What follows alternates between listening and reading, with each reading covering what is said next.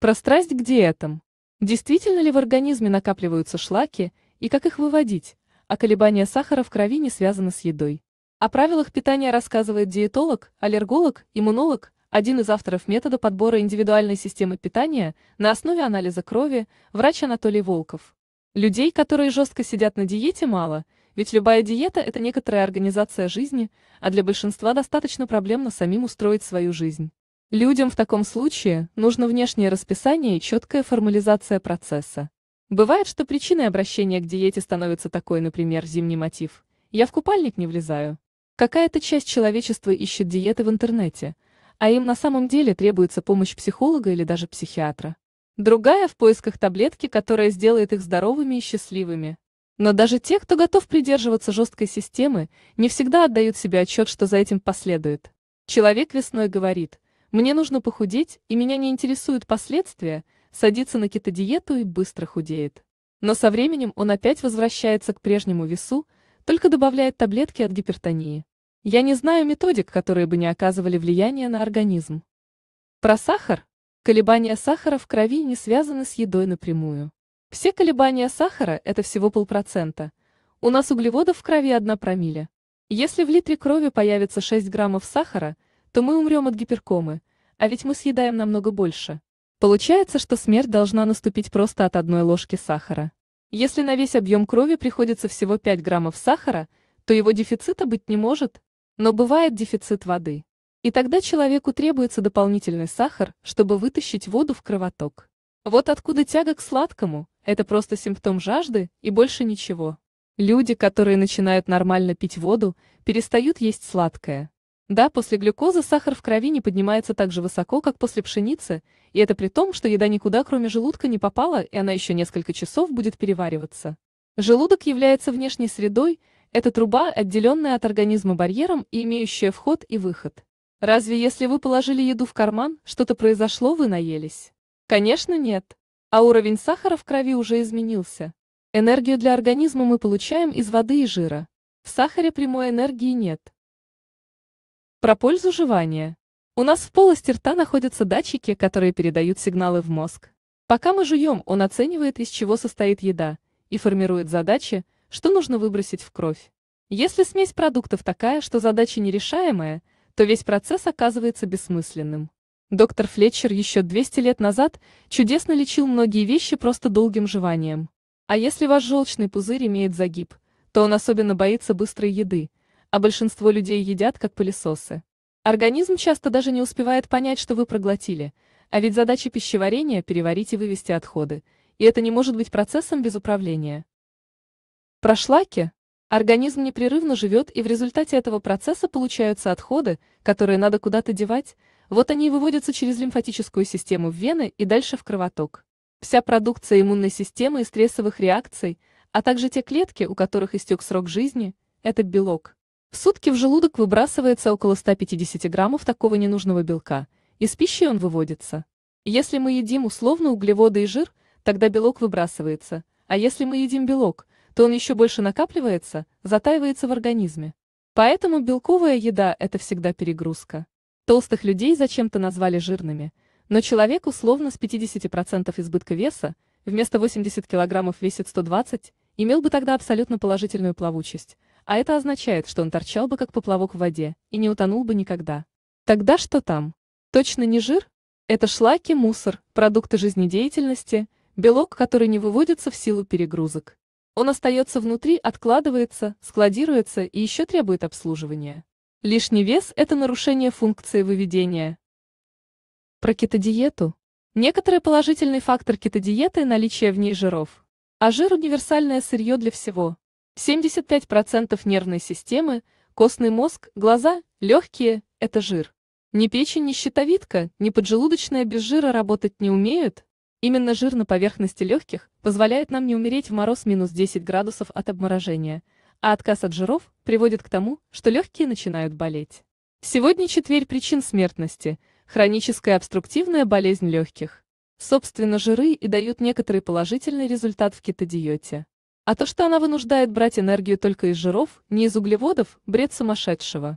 В организме ничего не горит, поэтому термин «сжигать жир» ни в коем случае не медицинский. В лучшем случае фитнес-тренера, но не доктора. Кетодиета опасна тем, что она блокирует очищение из-за переизбытка в рационе белка. Согласно кетодиете, рацион должен состоять из 70% жира и 30% белка. Теперь представьте, что вы съедаете килограмм еды в день. Вы что 700 грамм жира съели? Вы умрете через 15 минут от разрыва желчного пузыря. Покажите мне человека, который столько съедает. Жир является источником углеводов и дополнительным источником воды. А еще дополнительным источником карбонатов, то есть по сути соды, которая активирует венозный кровоток, всю нашу канализацию. Жир – единственный элемент, который не влияет на структуру крови, он там свободен. Количество сахара влияет, а вот жир нет. Он универсален и из него можно сделать все. Про вегетарианство если в вашей вегетарианской диете достаточно жира, то нет проблем. Но речь не идет о растительных жирах, в них категорически недостаточно ресурса для жизни, все эти масла существуют ровно до вашего пищеварения. Что с ними происходит дальше, не знает ни один человек, потому что ни одного способа нет узнать, что организм из них получил и для чего использовал. Вот даже на родине вегетарианства. В Индии, где температура воздуха почти всегда равна температуре тела, едят несметное количество сливочного масла. Добавляют его везде, а вот растительного используют не так уж и много. Про раздельное питание. За словосочетанием раздельное питание стоит много чего, от самого элементарного до безумных конструкций. Для чего нужно питаться раздельно, если в кишечнике все одинаково переваривается, а если не переварилось, все равно вышло на улицу? Но ведь организму для того, чтобы выводить, нужно знать, что ты съел. Например, я не хочу в последнее время есть любимое мясо, а почему? Потому что сейчас это бессмысленный процесс, под него ничего нельзя выбросить из организма, чтобы очиститься. Запас еды у нас в кишечнике, который длиной 6 метров, огромный, на добрых пару недель. Кишечник – это конвейер, состоящий из секций, каждая из которых выполняет разные функции и получает разные ресурсы. Про голодание? Когда голодаешь, организм начинает себя использовать как еду. На самом деле, обычная безбелковая еда дает ровно такой же эффект, как голодание, но только если ты ешь продукты, которые подходят твоей иммунной системе. Чем я сам, собственно, и занимаюсь. У меня каждый третий день полностью безбелковый. Голодание уместно только в экстремальных случаях, например, при лечении онкологии. Сколько без еды может организм жить? До 45 дней. Есть такие пациенты, которые таким способом очищаются при онкологии. Это достаточно экстремальный способ, когда других вариантов не остается. Такое длительное голодание – показатель запаса фактически еды в организме, белка, который все время движется в организме по кругу и все время работает. Про интуитивное питание. Человек ест то, чего ему хочется. Нет проблем, люди так и должны есть. А что делает организм, когда у него проблемы и требуется поддержка, что он будет искать? Костыль? Если у вас плохо работает желчный пузырь, он будет решать проблему с помощью продуктов привычных. Например, спасаться шоколадом или кофе – это желчегонные. Если человек выпил водки, что требует организм? Крепкого бульона желчегонного, потому что печень нагрузили. У человека белком перегружена кровь, он диабетик, что он будет есть? Хлеб белый с маслом, потому что под белый хлеб выбрасывается больше всего мусора белкового. Про витамины? Сейчас все сошли с ума с этими витаминами. Во-первых, они не работают в таблетках. Более того, синтезированный витамин может оказаться ядом. Витамины необходимы для стимулирования внутренних процессов организма после болезней, тяжелых состояний, травм, ранений на фронте. В обычной жизни они не нужны. Многие принимают витамины, чтобы поддержать их уровень в организме, ориентируясь на принятые нормы. Но, например, около 70% людей имеют сниженный витамин D, тогда почему норма сделана по остальным 30%? Про воду? Чтобы компенсировать потери жидкости, Человек должен в день выпивать в среднем 5 литров воды. Ну смотрите сами, 2 литра в день выводят почки, еще большой расход воды идет на легкие. У нас на выдохе точка росы, мы выдыхаем воздух высокой влажности, а если воздух в помещении сухой, то влагу мы берем в собственном организме, тоже около 2 литров в день.